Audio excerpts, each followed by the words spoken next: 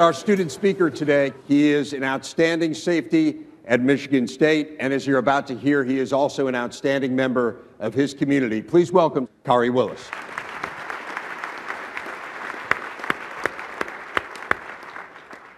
Thank you.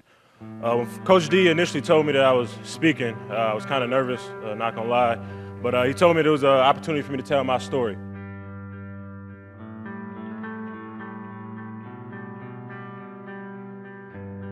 My mentality on game day is what we like to call a Spartan dog mentality. You got guys, you know, out there talking trash, you know, you talking trash back and forth, gets chippy at times. That's part of me that I like to express myself in a way that's outgoing, free flowing, and then you know whatever happens happens as long as everything's within the rule of the game. Khari Willis drops him. Lofted it near the right sideline. Nice play there. And it is incomplete. Khari Willis hit him at just the right time. Once the ball is snapped, I just try to go full speed. There's a lot of pressure. Hit as he throws. It's picked off. The Spartans get the interception. It's Khari Willis who's having himself a heck of a game. My hometown, uh, Jackson, Michigan, is about 35 minutes away from East Lansing. I like to come back when we have a day off or something. I'll be taking my mind off the game, bringing me back down to earth from the game last night. How much moves is that picture? Drake. Drake. Yachty, whoever his name is. He was calling names? Oh, yeah. You said Drake name? Jackson, uh, it's a real small town. Growing up on the south side entails poverty, gang violence. Some of us are dealt hands that are a little bit less favorable than people who grew up in other neighborhoods. I see a lot of people look like me dealing with the same things that I dealt with growing up as a kid. Early in my life, I was very, very young one of my friends, uh, kind of close to me, he's a little bit younger than me. You know, had been, you know, basically beaten to death uh, by his like by his like his stepfather, and he passed. And that was kind of like an eye opener of where I am. It drive me to be part of the solution and not the problem.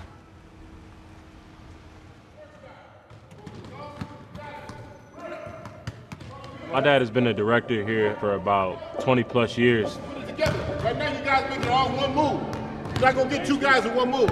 He's always have a big voice here in our community. You still got to get to your spot. You still got to get to your spot. Get to your spot. Seen him help out a lot of people athletically, socially, helping people with their marriage. He played counselor, peacemaker a lot. Nice, nice, nice. Come on.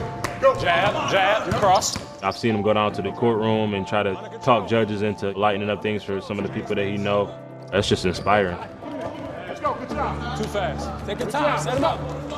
Khari, he's always been a really, really good athlete. Come on, that's quick. Stay low, stay low. But at some point, he started to aspire to be beyond normal.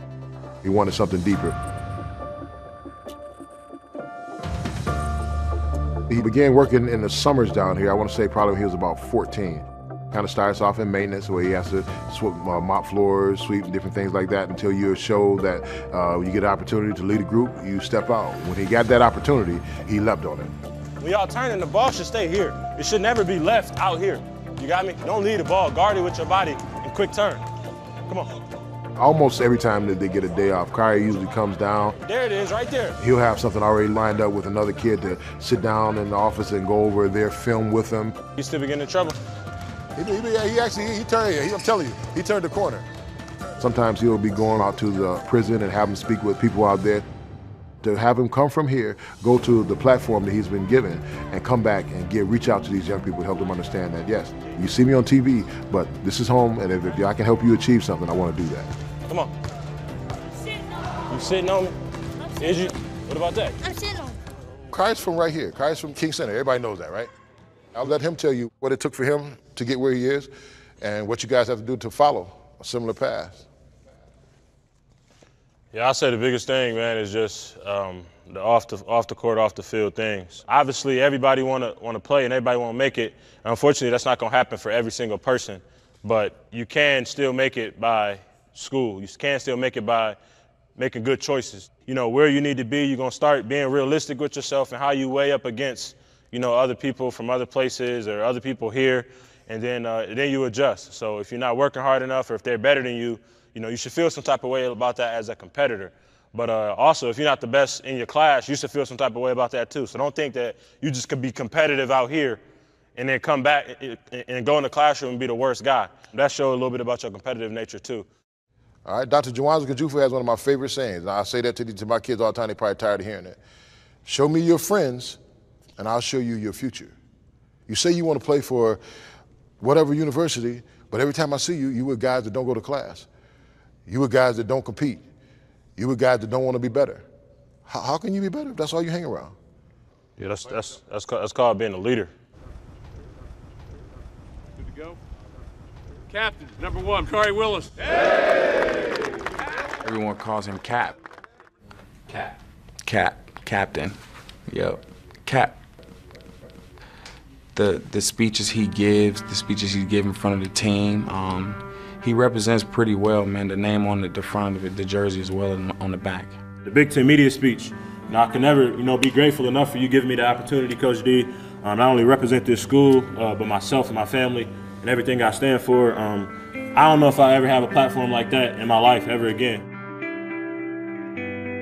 There's an old saying that my father used to use. He still uses it to this day, and that saying is, "If you blow my candle out, that won't make your candle shine any brighter." So let's go back. Let's light these candles in these communities. I feel that the rest of the 40 plus players that are here, we have that opportunity, and I hope that we can all uh, make our communities better by going back and giving back. Thank you very much. God bless you. Go Green.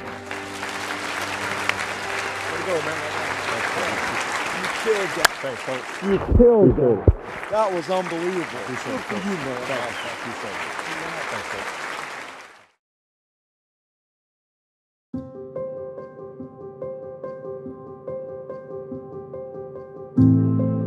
It's definitely easy to bleed green and white when you grow up in the Morrissey household. Both my parents are from Flint, Michigan. And that is where I met Jim. We went to high school together. We eventually went to college together as well, to Michigan State. Bradley over the middle, Kinnebrew had it, Morrissey. Morrissey intercepts. I played at Michigan State from 1981 to 1984. Running out of the stadium at Michigan State meant everything to me. I, of course, went to all the games on Saturdays. Being able to see him play on Saturday afternoons was a great joy for me.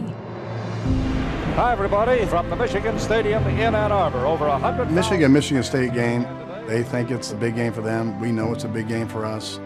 So in 1984, my senior year, we play at Michigan. Jim Harbaugh was uh, the quarterback at the time for Michigan, and they're playing very well. Unfortunately for Michigan, Jim got hurt. Fumble! Fumble there, and Michigan State dives. It's either Harbaugh or Tyree. Tyree, Tyree comes up with a football. Jim broke his arm, and at that point, then we kind of took off, and we won the game 19 to 7. There is a myth out there that I did it, and it's not true. I want to state on the record that I did not break his arm. The kids just grew up knowing that Jim and I love our alma mater. On one of the journeys back home, of course, we're like, hey guys, let's go see where mom and dad went to school. I was about six or seven. and My dad wanted to stop by East Lansing and, you know, show us, you know, where he played. Like, hey, let's go by the football stadium. Maybe no one will stop us. That'd be so cool to have the kids and Amy run out of the tunnel and pretend like you're the 2001 Michigan State Spartans. And get ready for the start of a 2001 football season. Here they come, the Michigan State Spartans.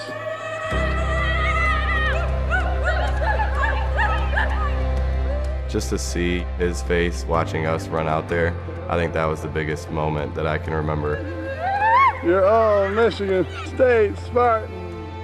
It was such a memory that you know we have on family video that we watch, I think every year, and it's something that's truly incredible. Now being a, a fifth-year senior here, being able to live out that legacy of my dad playing here and that Morrissey name on my back, is truly, truly special.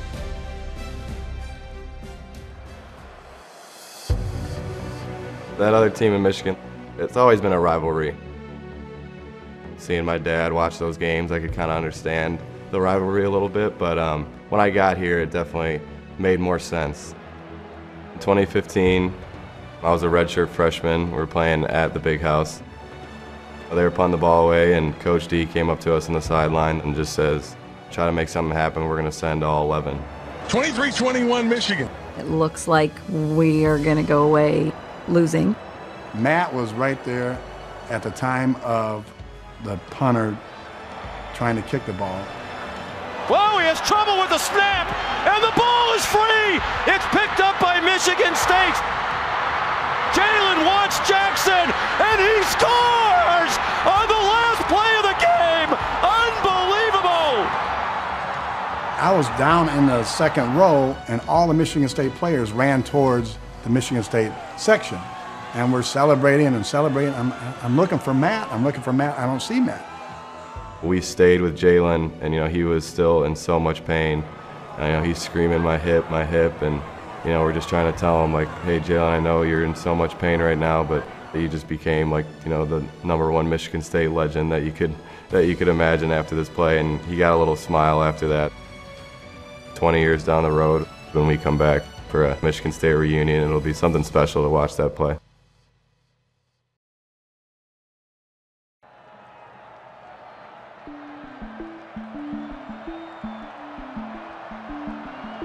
Ever since I was little, I liked sports. I needed to be active. I always had a lot of energy. Just nothing doing. Raequan Williams, 99. I would just be throwing the ball in the parking lot. And one day, Tim Hall was driving past. I think I was riding down the street one day and I saw him. I'm like, man, kid, you should be playing football. He was like, uh, you want to play some real ball? I was like, man, I love to play some real ball. And he told me come to practice one day. His mom was a little hesitant at first, you know what I'm saying? I used to see him. He used to be, he used to be like, "My, some big old boys on that team." I said, "Boy, them big boys can fall down." He wasn't that talented. Couldn't put his hand down in the three-point stand, but he always tried. Though he came to practice every day, and he never gave up. I'm from the west side of Chicago. East Garfield Park area. When you grow up in an area like that, you see a lot of different people and experience a lot of different things, from little league coaches to uh, game bangers on the corner. The biggest thing Chicago taught me about living life or growing up is you gotta take advantage of everything you get because it can be gone.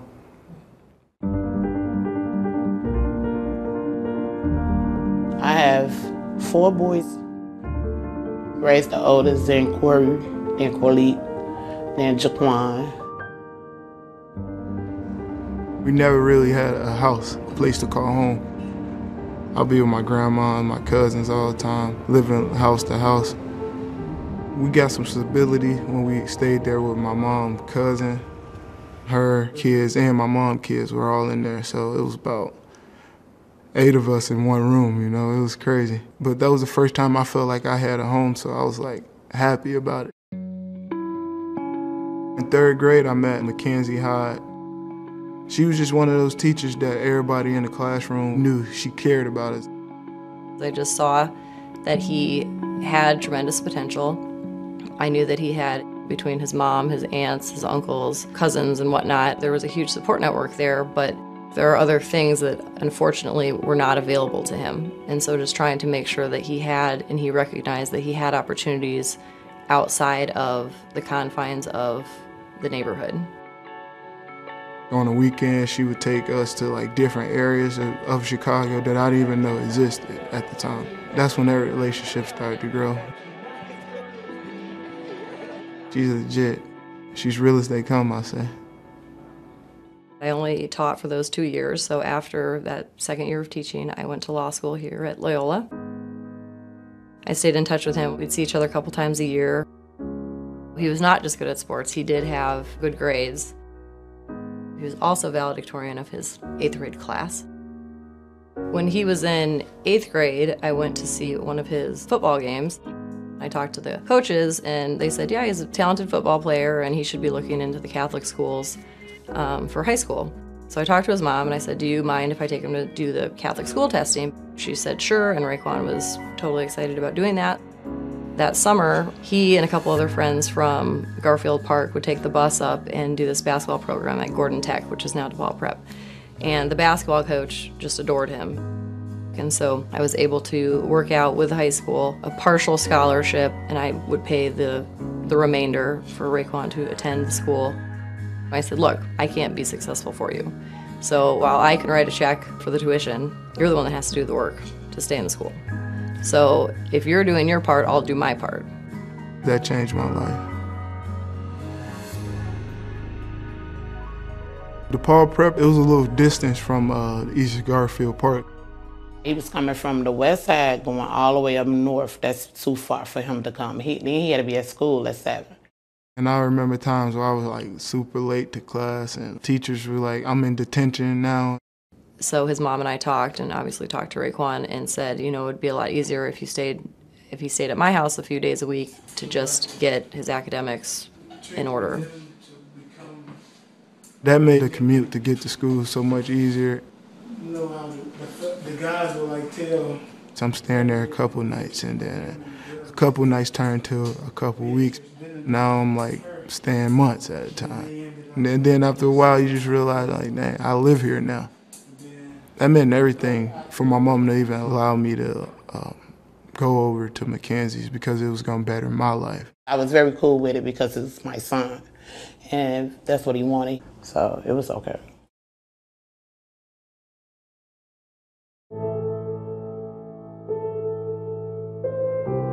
His mom and I took him up for that first day. It's definitely bittersweet, as it is for anyone leaving their kid at college for the first time. Probably an hour after we left, he's made, you know, some of his best friends for life. I was always hanging with Ray, and then Ray was always hanging with me, so we always like bonded together. I used to always hear him call his brothers and cousins up and just talk to them and laugh and crack jokes with one another. Corey and Corley adored Raequan, and he was always so tremendously attentive to them. His cousin, Antonio, would always say, I'm watching your brothers and sisters. You know, we're all proud of you, and I'll help hold down the fort, so to speak. Antonio, that's like my uh, twin for real. We were the same age, but I felt like he was just so advanced and everything. Everything I learned was from him. That bond that we had is like, there's so many different stories I can tell about that guy. That's that's my that's my blood brother in my. That's my it's my ace. I love him to death. But my uh, freshman year up here, he got murdered the day before his, his birthday. He didn't even get to see me play yet. It was tough. It was, that one burned a lot because that's if if I never had a dad, that was my you know that was my dad in a way. Like I told him, just keep striving, it'll be okay. And then 2017 came. Two killed teenagers, just 15 and 16 years old. Residents report hearing about 30 gunshots just after 9 o'clock this morning. One man in a mask opened fire with what some believe was an AK 47. My little brother, Corey Hill, ended up getting murdered uh, uh, morning before on his way to school, too. So it's like my family's been through a lot. I can't do.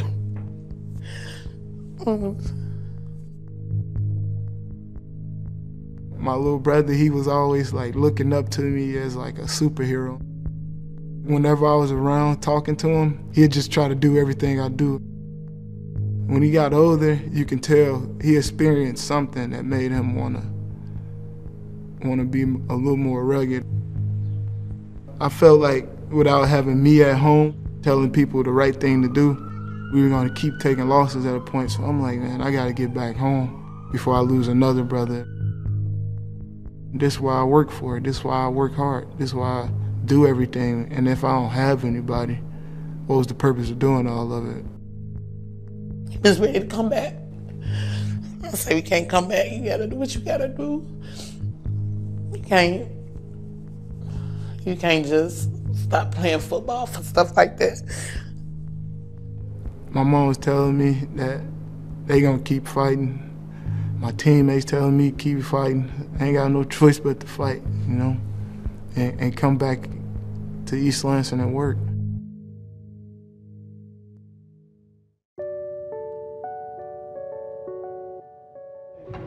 Said my bad.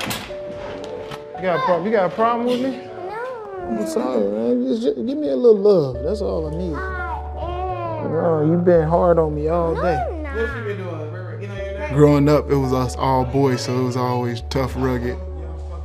So when my mom started having girls, Desire and Amaya, it was great.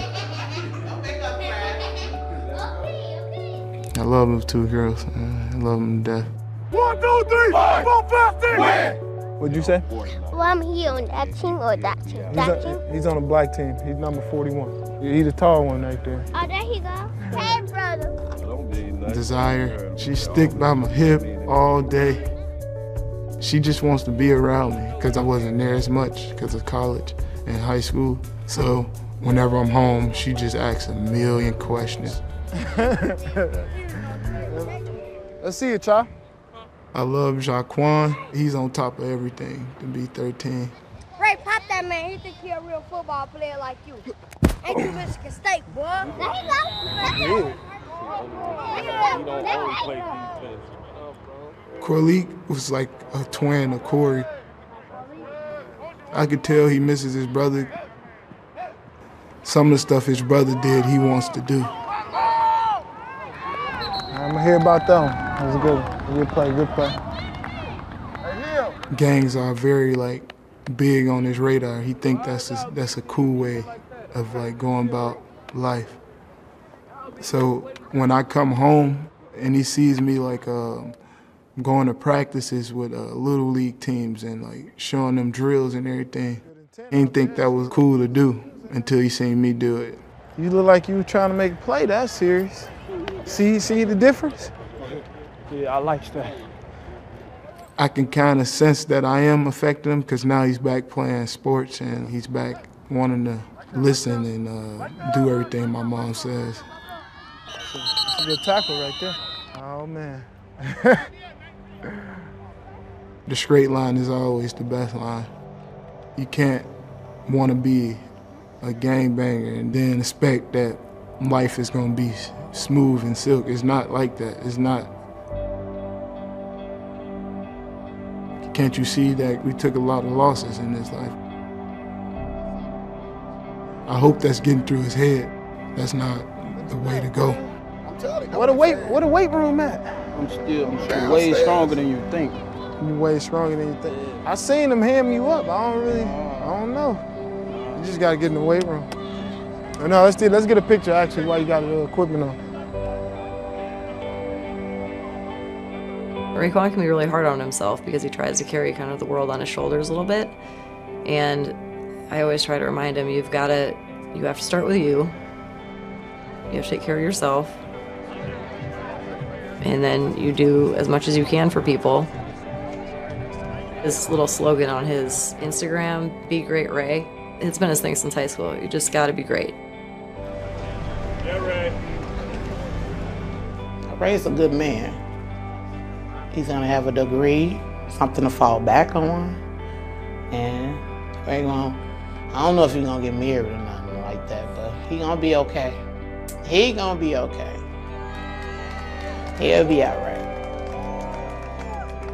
Go green!